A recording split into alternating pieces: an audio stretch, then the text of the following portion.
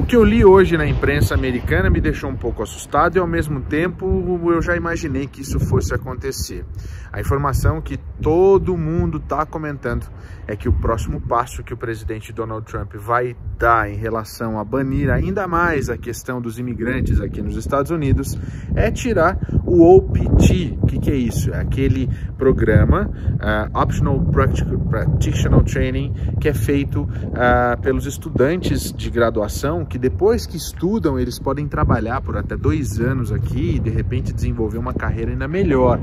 Mas o que acontece é o seguinte, o Trump quer acabar com isso já faz tempo, desde 2018 que existe essa conversa de que o OPT vai acabar e que não se deve de maneira nenhuma dar tanta informação para estudantes internacionais que levam esse knowledge, esse conhecimento daqui de volta para os seus países. O principal alvo dessa história são os chineses. Ah, existe um lado muito conservador do Partido Republicano que é contra passar tanta informação, tanto conhecimento, tanto tecnologia, tanta tecnologia para estudantes de graduação que depois voltam para a China para usar isso lá. Na realidade, é, existe essa situação que deve ser aplicada não só para os chineses, mas também para todos os estudantes internacionais de graduação. E isso deixa muito claro de que eles realmente não têm a menor ideia nem a menor vontade de dividir o conhecimento com os estudantes que poderiam se transformar em gênios, em experts, em bons profissionais para trabalharem aqui mesmo nos Estados Unidos e permanecerem aqui, engrandecendo ainda mais a área de ciência, tecnologia e outros campos, porque tem muita gente que vem não só para a área de TI, que é a mais procurada, mas vem também para outras áreas. O que a gente sabe agora é que existe uma, um movimento interno para que o Trump faça isso quanto antes, que seria o próximo passo depois dessa suspensão dos uh, green cards né, que aconteceu já e que vai durar por 60 dias, agora o tempo está contando, já não é mais todo esse tempo. Né? A questão dos estudantes internacionais de graduação é justamente porque bate naquela é, coisa de que os republicanos têm e que muita gente tem, que acaba levando para esse lado, que é manter a segurança nacional. Gente, o que as pessoas mais querem, antigamente era o que funcionava em várias administrações, era trazer as boas cabeças para ficarem por aqui, era fazer fazer com que as pessoas tivessem condições de aplicar o seu conhecimento e continuar aqui para fazer esse país crescer ainda mais. São as melhores cabeças que estão em outras partes do mundo que são convidadas a virem para cá para estudar, ter todo o subsídio que muitas vezes elas não têm em seus países. Mas nesse caso, em 2018 existiu essa situação que foi considerada xenofóbica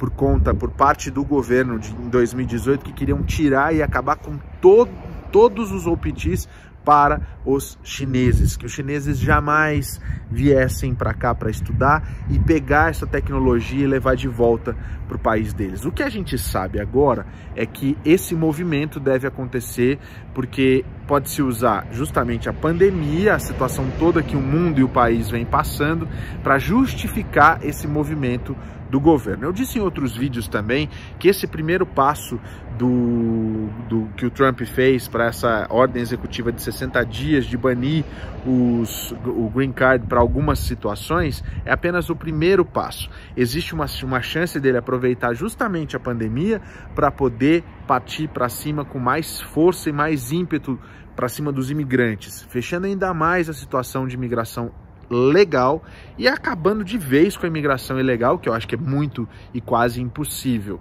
Eu tenho certeza que vai ficar muito mais difícil você conseguir um visto que te dê a residência permanente. Eu acho que vai ficar muito mais difícil você conseguir algo que você não invista tanto dinheiro para cá. Por isso que a gente briga e por isso que a gente quer que tudo isso seja não passe de uma situação que a gente imagina que seja hipotética no caso da vitória desse é, presidente atual para mais um segundo termo, mais quatro anos. E desfazer tudo isso daqui quatro anos, no caso da, de uma retomada por parte dos democratas, seria quase que inviável. O que a gente espera é que realmente no final do ano a gente tenha uma solução nas urnas. Mas com essa história de pandemia ainda não se sabe como vai funcionar justamente a eleição de 2020. Ninguém sabe ainda se as pessoas vão poder votar mais pelo correio se elas vão poder votar mais de casa, se elas vão ter que se dirigir até as urnas, porque a segunda onda dessa pandemia deve acontecer nos próximos meses, justamente no período de inverno, né, quando a situação deve piorar ainda mais, porque daí entra a influenza, entra também o Covid, tudo isso deve ser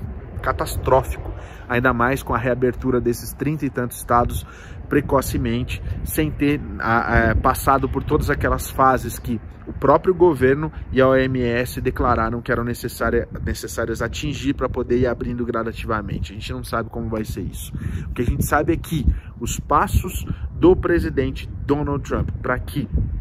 o, a imigração seja cada vez mais restrita e cada vez mais complicada, puxa, isso ele vai aproveitar de todas as maneiras e vamos ver quais, quais serão os próximos passos. Falando sobre o consulado, a gente sabe que várias datas que tinham abertas para o mês de junho já estão, não estão mais disponíveis, não é porque eles cancelaram, mas sim porque muita gente está fazendo, então se você quer adiantar a sua vida, já quer fazer o seu DS 160, já quer adiantar seu perfil, etc., corra, porque, por exemplo, para o mês de junho eu sei que todos os consulados já não tem mais data, para o mês de julho também. O que a gente sabe é que ainda não tem data para reabertura, mas se prevê que pode ser que essas aberturas aconteçam sim no mês de junho, começo de julho, por exemplo, para algumas localidades. Mas tudo vai depender também de como o governo brasileiro está lidando com essa pandemia. Vamos ver, vamos, vamos acompanhar tudo isso, a gente vai informando aqui. Eu queria deixar para você que está assistindo o vídeo agora duas opções de vídeos que também vão estar disponíveis a enquete lá na comunidade. Eu quero saber qual que é o próximo vídeo que você quer ver.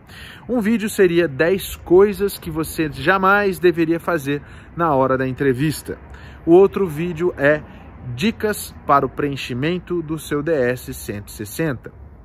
Então escolha um desses dois vídeos e a gente já vai publicar logo na sequência nos próximos dias. Qual dos dois vídeos que você quer? O vídeo com as 10 coisas que você jamais deve fazer na entrevista, na sua entrevista no consulado ou dicas para preenchimento do DS 160. Então você escolhe qualquer um dos dois, marca lá, aproveita ou bota aqui no comentário, a gente vai ver o que, que tem, o que, que vocês escolheram para a gente poder colocar. A gente vai fazer sempre essas enquetes aí, você decide o que a gente vai fazer aqui no canal, tá bom? Muito obrigado pela sua audiência sempre, não esquece de baixar o nosso aplicativo, eu tô aqui sempre, sempre, sempre, sempre no SBR TV às 8 e meia da noite ao vivo com as notícias, então você pode assistir o SBR News todos os dias também pelo canal da USBR é, é, da USBR TV. E para quem gostou da, daquela live que a gente fez com a Aline, eu vou deixar aqui o link na descrição do canal da Aline, que está começando agora, mas tem ela no Instagram, que ela manda muito bem, é muito legal, você quer saber mais a respeito do Canadá,